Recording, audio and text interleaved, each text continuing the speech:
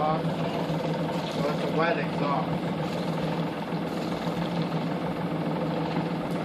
Got a little.